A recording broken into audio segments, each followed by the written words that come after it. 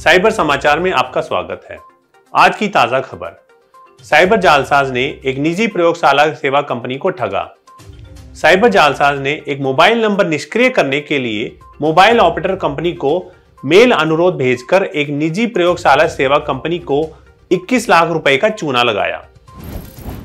Pimple सौदागर के आनंद दिगंबर शुक्रे, जो perfect laboratory services के साथ काम करते हैं, की शिकायत के अनुसार। कंपनी का मोबाइल नंबर एक सार्वजनिक क्षेत्र के बैंक खाते में पंजीकृत था। जालसाज ने कथित तौर पर कंपनी की मेल आईडी हैक कर ली और नेटवर्क सेवा प्रदाता को मोबाइल नंबर निष्क्रिय करने का अनुरोध भेजा। इस दौरान जब नेटवर्क प्रदाता ने कंपनी के कथित मेल का जवाब देते हुए मोबाइल नंबर को निष्क्रिय करने के लिए फर्म को सूचना भेजी तो दो लेन देन में कंपनी के बैंक खाते से 21 लाख रुपए डेबिट किए गए थे। बैंक को तुरंत आगे भुगतान रोकने के लिए सतर्क कर दिया गया। तकनीकी जाँच के दौरान यह पाया गया कि पैसा पश्चिम बंगाल के मोन्टाजुल इस्लाम मुल्ला को हस्तांतरित किया गया है।